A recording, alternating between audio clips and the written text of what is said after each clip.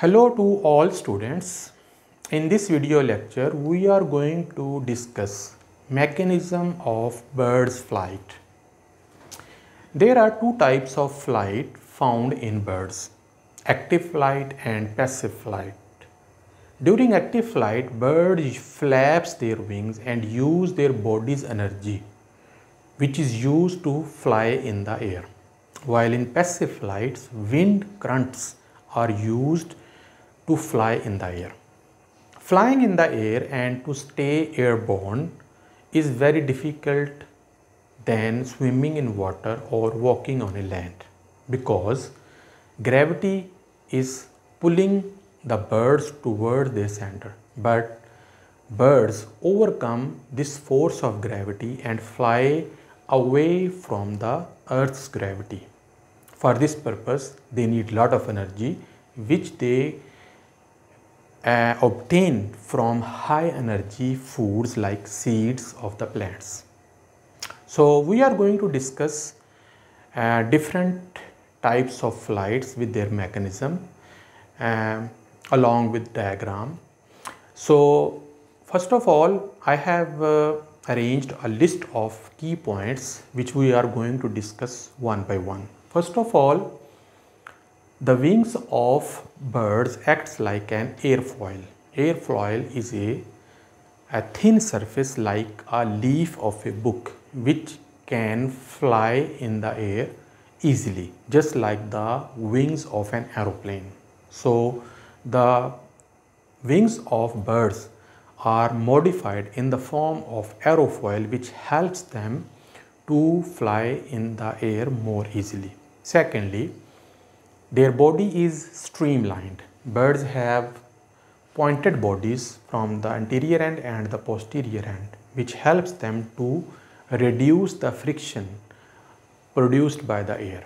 They also has covering of feathers on their body which also helps to reduce the friction of the air.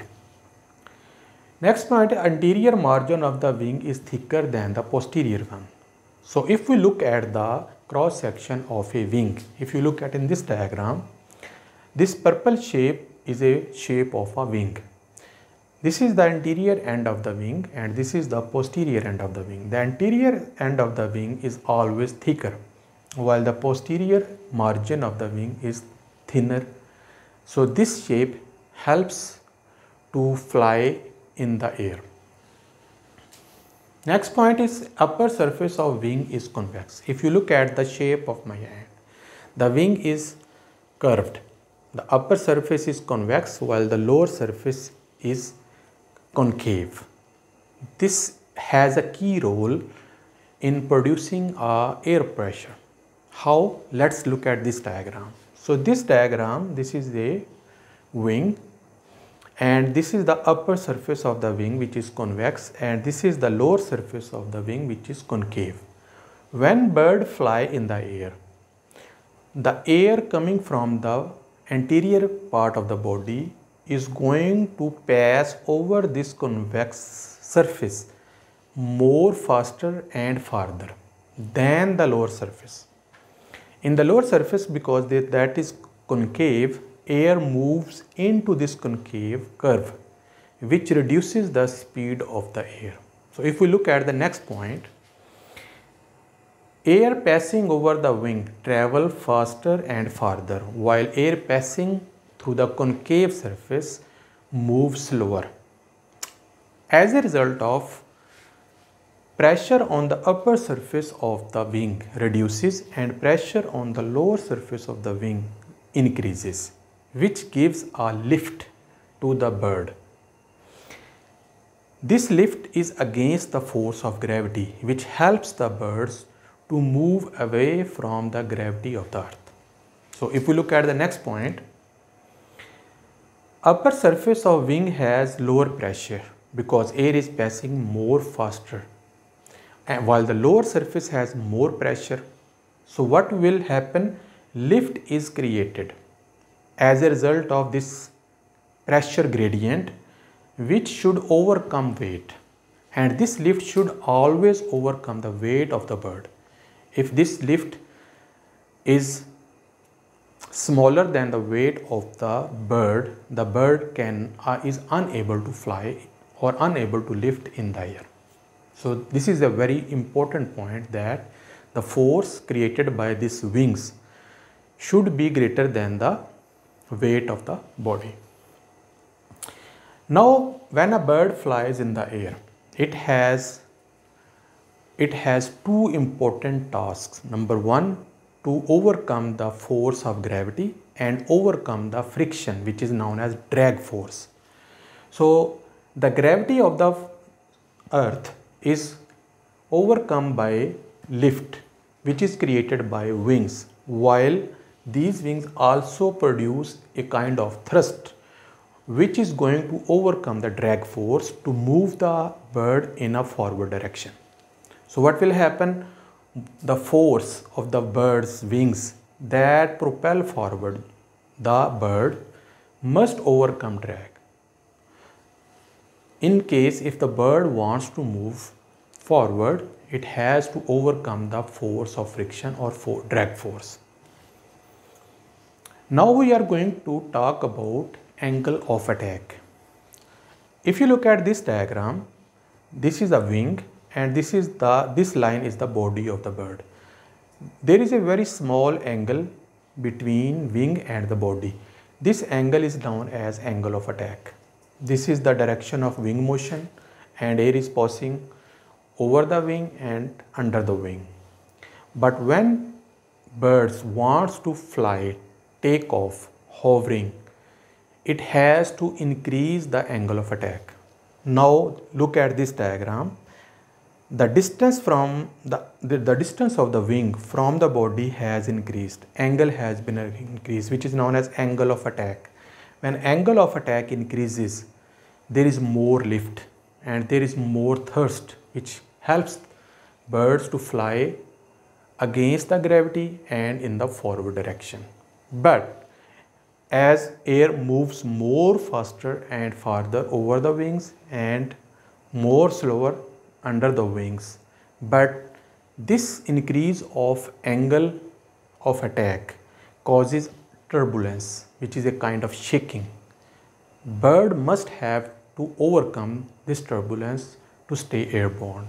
For this purpose, wings has a small group of feathers which is known as alula attached to the feather. What is alula? Alula is a group of small feathers which are supported by bones of medial digits and this alula is raised during turbulence which helps to reduce the turbulence and uh, increase the lift of the bird. So the angle of attack when increases during takeoff, landing and hovering flight, alula is elevated. Now we are going to discuss this in more detail in my points. So increase of angle of attack increases lift, but increase in the angle of attack causes turbulence and the turbulence reduces lift. To reduce the turbulence, wings have slottings slotting in the wings and alula reduces first of all alula is raised and secondly the wings have slots like the gaps between their feathers which helps to move air away and helps in the reduction of the turbulence. Now the wing has two parts. The part which is closer to the body is known as uh, proximal wing while the part which is away from the body is known as distal wing. Distal wing is very important because it produces active flight by flapping in, in two modes.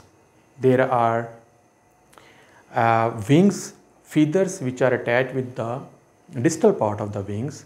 They have like uh, two cycles and uh, the, in the first cycle the bird's wing pushes the air downward and arinda which is called as active stroke while there is a recovery stroke in which bird's wings moves upward direction. When the distal part of the wing moves downwards, the feathers of the wing are overlapped with each other and there is no slotting. But during the passive stroke, to reduce the friction, uh, overlapping has been reduced and these are there are slottings in the wings which reduces the friction. So in this way active stroke and passive stroke of the distal part of the wing helps in the flapping of the wings which cause active flight. So the distal part of the wing generate propulsive force which gives lift to the bird and also helps the bird to move in the forward direction, propels the bird in the forward direction. There are also tail wings, tail feathers. Tail helps in the balancing of birds during flight and also help in the steering, moving forward on the right side, on the left side. Animal can steer itself with help of tail and also during landing it helps to stop the birds which is known as braking.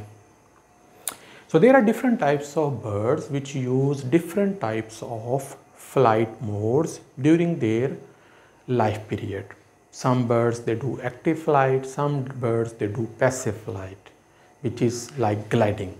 So I have taken some examples like gliding which is done by waterfowl or seagulls these birds use passive flight and helps uh, use water currents uh, to move inside the or to stay airborne. Second type of flight is known as soaring which is done by hawks and vultures. These are also types of, this is also a type of uh, uh, passive flight in which what, uh, wind currents are used to move up and down in the air. Hovering is a flight which is done by hummingbirds. In this, in this condition, hummingbirds which are smallest bird in our universe, they use their wings, they flap their wings 80 times, 50 to 80 times per second to remain airborne while sucking the nectar of the flowers in the form of eight shape and they can hold still their body in the air with this type of movement.